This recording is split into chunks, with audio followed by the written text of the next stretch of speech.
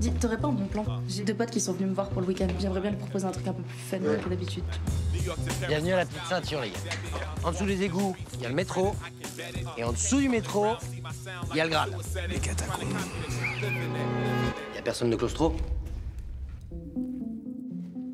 Bingo. Bienvenue dans les catacombes.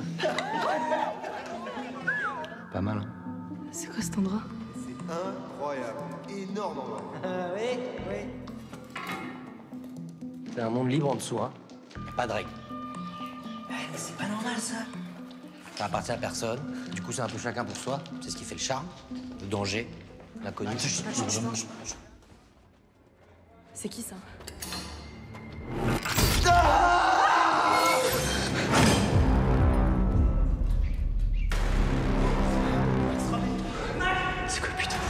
Elle est où la sortie?